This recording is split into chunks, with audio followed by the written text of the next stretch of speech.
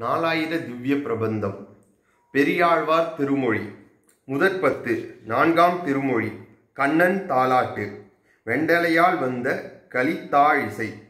மாணிக்கம் கட்டி வைரமீடை கட்டி ஆணி பொன்னால் செய்த வண்ணச் சிறுதொட்டில் பேணி உனக்கு பிரம்மன் விடுதந்தான் மாணிக்குரளனி தாளேலோ வையம் அளந்தானி தாளேலோ உடையார் கணமணியோடு ஒன்மாதுளம்பூ இடைவீரவி கோத்த எழுதல்கினோடு விடையேறு காவாலி ஈசன் விடுதந்தான் உடையாய் அழில் அழித்தாளேலோ உலகம் அளந்தானி தாளேலோ எந்தம்பீரானார் எழுத்திரு மார்வர்க்கு சந்தமழகிய தாமரை தாளர்க்கு இந்திரன் தானும் எழிலுடைக்கின் கிணி தந்துவனாய் நின்றான் தாளேலோ.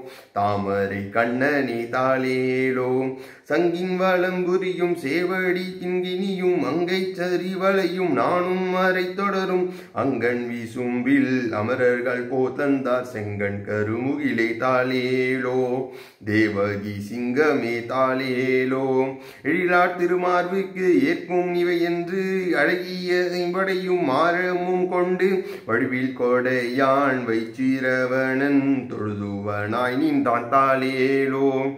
தூமணி வண்ணனே தாளேலோ. ஓதக்கடலின் ஒளிமுத்தின் ஆரமும் சாதிப்பவளமும் சந்தச்சரிவளையும் மாதக்க என்று வருணன் விடுதந்தான். சோதிச் முடியாய்த்தாலே முடியாய் தாளேலோ சுந்தர தோழனே தாளேலோ காணார் கை செய்த கண்ணியும் வானார் செஞ்சோலை கற்பதத்தின் வாசிகையும் தேனார் மலர் மேல் திருமங்கை போதந்தாள் கோணி அடில் அழில் தாளேலோ குழந்தை கிடந்தானே தாளேலோ கச்சோடு பொற்றுரிகை காம்பு கனகவளை உச்சி மணி சுட்டி ஒன்றாள் நீரை பொற்பு அச்சதுவனுக்கென்று அவனியால் போதந்தாள் நச்சு மூ தாளேலோ நாராயணா அழித்தாலேலோ மெய்த்திமிரும் நான பொடியோடு மஞ்சளும் செய்ய தடங்கண்ணுக்கு அஞ்சனமும் சிந்துரமும் வெய்ய களைப்பாகி